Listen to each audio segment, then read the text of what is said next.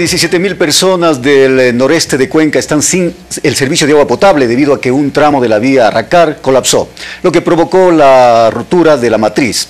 El gerente de etapa, Iván Palacios, informó que mientras se realicen los trabajos de reparación, la planta de potabilización del Cebollar eh, no estará activa.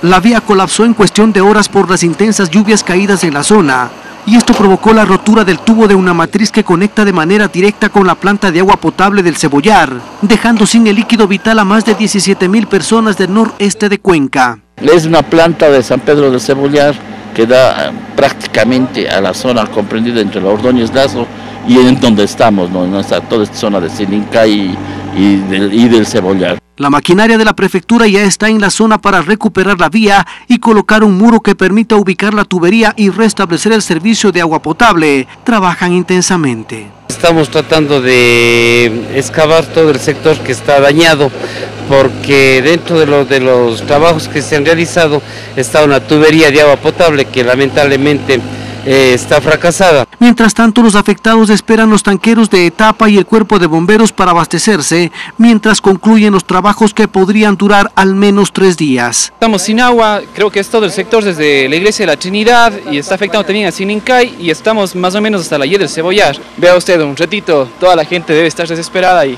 esperemos que las autoridades sepan solucionar pronto. Ahora esperan que los técnicos solucionen el problema de la vía o se busque alternativas para que esto no se repita.